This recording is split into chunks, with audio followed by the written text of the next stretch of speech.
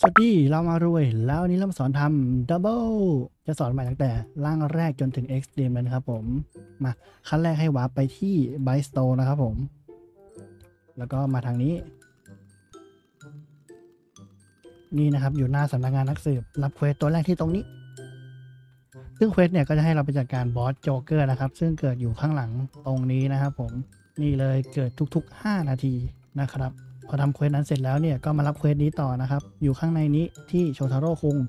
นะ quest นี้ให้เราจัดการกับบัณฑิตที่อยู่ในกรงนะครับผมมาข้างหลังนี้ นี่นะครับกรงตรงนี้ 4 อันนะครับ คุณจะสามารถกดเพื่อเปิดได้พอคุณกดแล้วเนี่ยก็จะมี mon ออกมานะครับ ให้คุณตีมันให้ตายนะสี่ตัวสี่กรงนะครับผมเสร็จแล้ว quest ต่อมาอยู่ตรงนี้ ที่ฟิลิปนะครับผมโดยให้เราไปจัดการกับ Foundation Elite นะครับซึ่งอยู่ อีกฝั่งดูเลยเดี๋ยวผมพาไปดู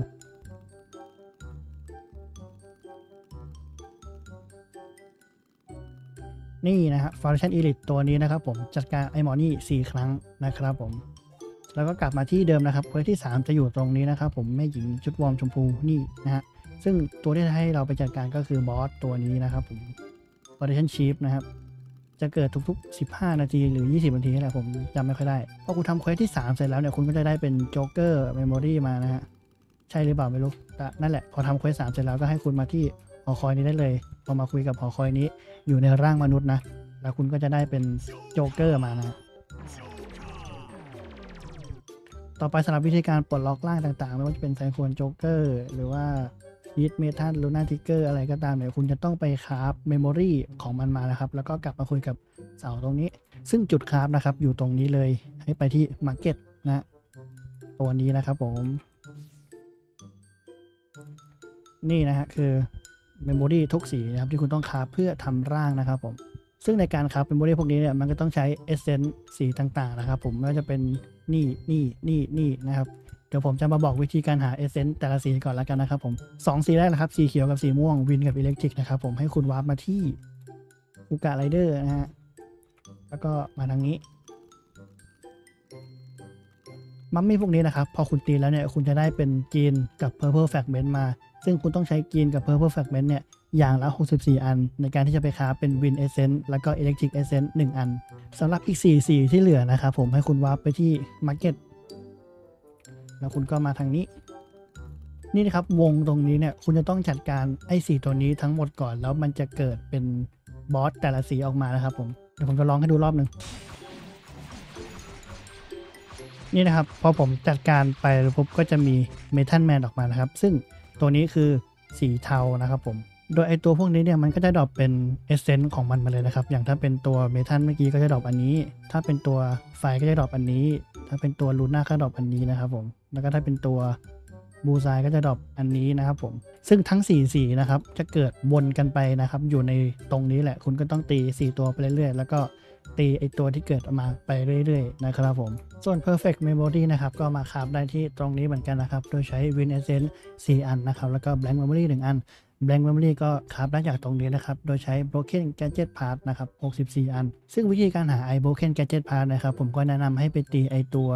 foundation elite นะครับ ตัวของ quest ที่ 2 อะนะตีไปเรื่อยๆ แต่แล้วพอได้ครบก็กลับมา craft ที่ Market นะฮะสำหรับตัว Cyclone Joker เนี่ย คุณก็จะต้อง craft อันนี้ไปแค่อันเดียวนะครับผม แล้วคุณก็ไปคุยกับที่เสา ส่วนอีก 4 สีเนี่ย มันจะเป็นสีคู่กันนะครับ จะเป็นHeat กับ Metal แล้วก็ Luna กับ Trigger คือถ้าคุณจะทำร่าง Heat Metal เนี่ย คุณก็ต้อง craft ไป 2 อันแล้วไปคุยที่เสา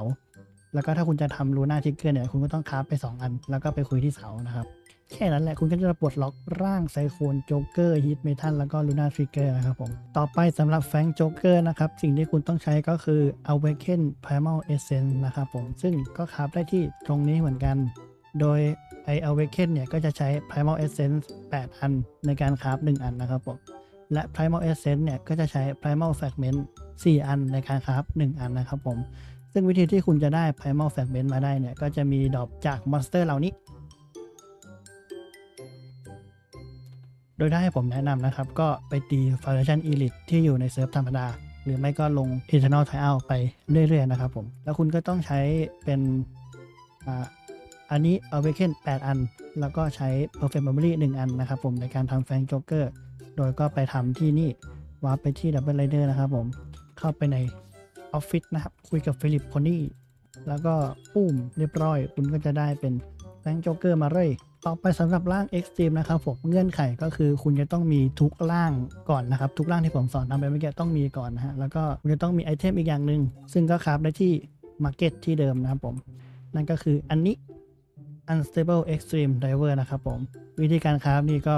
มีอยู่ตรงนี้นะครับ ใช้ Double Empty driver ก็ craft ได้ตรงนี้นะครับผม Double Empty driver แล้วก็ใช้ Empower Memory เนี่ย จะ drop จาก Eternal Tryout นะครับผม drop ระดับนะผมคิดว่า Epic เนี่ยลงไปเรื่อยๆ เดี๋ยวก็ได้ครับ เมื่อคุณ craft อันนี้ได้แล้วนะครับ ก็ให้กลับไปที่ Double Rider นะครับผม แล้วก็มาคุยกับตัวนี้โหนดขาว อยู่ข้างๆนี่แล้วก็บูมเรียบร้อย คุณก็จะได้มันเลยครับ Extreme Easy